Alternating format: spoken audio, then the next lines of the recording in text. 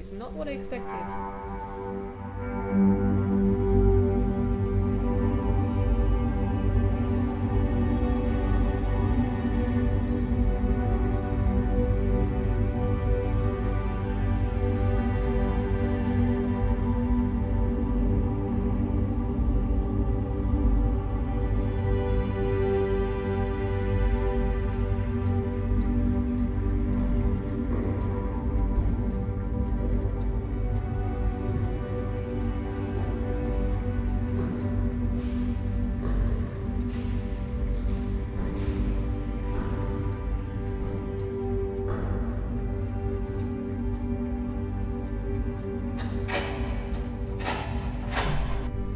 It seems that all these doors are locked.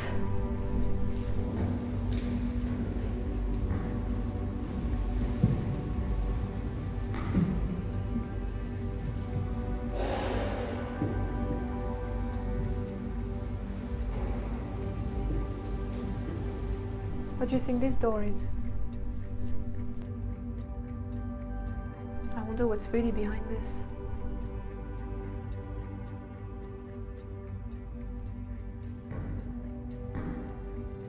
Presentism. Or do you want me to explain what that is? Okay.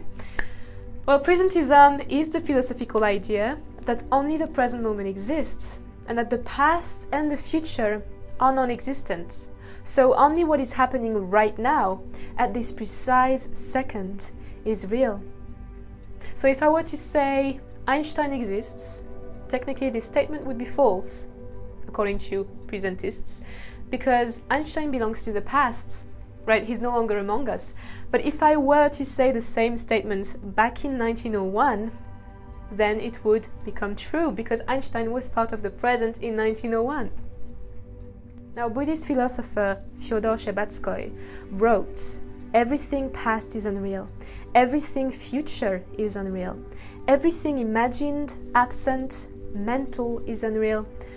Ultimately, real is only the present moment. But this time perspective heavily depends on one's perception of reality. It seems that for presentists, something qualifies as real when it is known to be true and present. For me, reality is everything that is in the universe, even the things that are beyond our perception and understanding and knowledge, right? See, presentists believe that their perception of things is objective uh, and not subjective, as subjective is everything that is a creation of the mind, right? They believe that the past and the future is subjective. But in a way, their perception of time and reality is hardly objective and is mostly subjective as it depends on our perception of things which is dependent on the mind. It also relies on the information picked up by our five senses, which is also supervised by the mind. And it also relies on our knowledge, what we think we know to be present and true, which is also taking place in the mind. On top of that, it is also incompatible with relativity. As philosopher of science Dean Rickles pointed out, the consensus among philosophers seems to be that special and general relativity are incompatible with presentism. Why? Well, because special relativity shows us that any event can appear differently depending on where the observer is located in space, as well as the speed at which they are traveling. You know, time slows down when speed increases.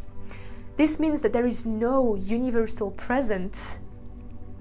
On top of that, it is also incompatible with other theories such as string theory, which is why many physicists support another theory, which is eternalism. Now, eternalism supports the fact that the present, the past, and the future are equally real, but we are just interacting with different temporal parts of the space time metric. Our perception of reality does not impact the rest of the universe. Just because we are not aware of the existence of something does not make it less real, like presentists would tend to believe. As Einstein once wrote, right here. People like us who believe in physics know that the distinction between past, present, and future is only a stubbornly persistent illusion. Eternalism supports the fact that time belongs to its own temporal dimension, the fourth dimension, and that it forms space time by interacting with the third dimension or the space dimension. Time, therefore, belongs to the structure of the universe, making the past, the present, and the future as equally real, with only a slight difference in accessibility.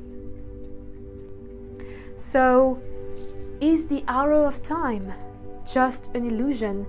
Is it really a one way street, past to future, or is it just how we physically experience it?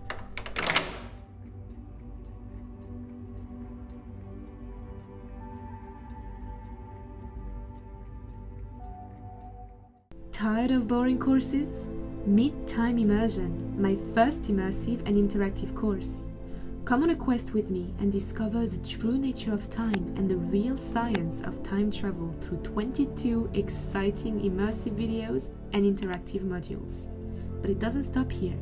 The third module offers you a more practical approach to time perception and offers tips and exercises based on psychological and neuroscientific work to improve your relationship with the past, the present, and the future in 31 videos.